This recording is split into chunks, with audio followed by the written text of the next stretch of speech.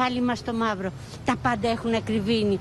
Ο μισθός έχει εξανεμιστεί. Δεν μπορούμε πια ούτε να ζήσουμε. Με την ακρίβεια και τις αυξήσεις στα τρόφιμα να μην λένε να σταματήσουν, οι καταναλωτές συνεχίζουν να ασφικτιούν.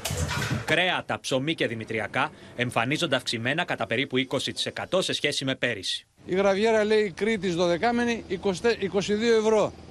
Για όνομα της Παναγίας, ποιος θα την πάρει; Μέσα σε αυτό το κλίμα και ύστερα από απανοτές καταγγελίες για εσχροκέρδεια, το Υπουργείο Ανάπτυξης ανακοίνωσε σήμερα πρόστιμα ύψους 375.000 ευρώ σε μεγάλες αλυσίδες σούπερ μάρκετ για παραβίαση του νόμου ποσοστού κέρδους, ενώ υπήρξαν και προϊόντα με άλλες τιμές στο ράφι και άλλες στο ταμείο. Στην επιχείρηση με την επωνυμία ΑΒ Βασιλόπουλος και το ύψος του προστίμου είναι στα 319.900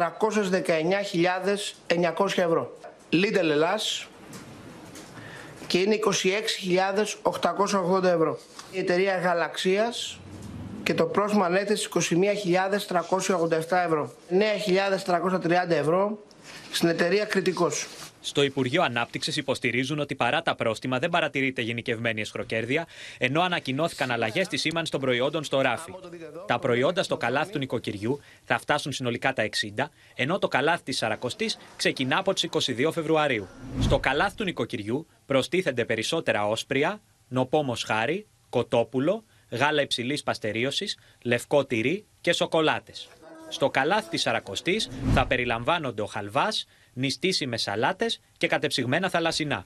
Από την πλευρά της αντιπολίτευσης ζητά μείωση του ΦΠΑ στα τρόφιμα και χαρακτηρίζει τα μέτρα παροδία. Σε μια ακόμη φιέστα, ο Υπουργός Ανάπτυξης ανακοίνωσε πανηγυρικά το σαρακοστιανό καλάθι του νοικοκυριού και εξήγηλε για πολλωστή φορά το αυτονόητο. Την διενέργεια ελέγχων και την επιβολή προστήμων σε μια αγορά που εδώ και μήνες βασιλεύει εσχροκέρδεια. Την ώρα που ο πληθωρισμός υποχωρεί, οι αυξήσεις στα τρόφιμα συνεχίζουν να καλπάζουν και η αγοραστική δύναμη των πολιτών καταραίει. Αυτή η εικόνα δεν αλλάζει εδώ και πολλούς μήνες. Όσα ήδη και αν εντάσσει κάθε φορά στο τρίπιο, όπως αποδεικνύεται, καλάθι του νοικοκυριού ο Υπουργός Ανάπτυξης. Το καλάθι του νοικοκυριού θα παραμείνει στα ράφια μέχρι το τέλος Ιουνίου.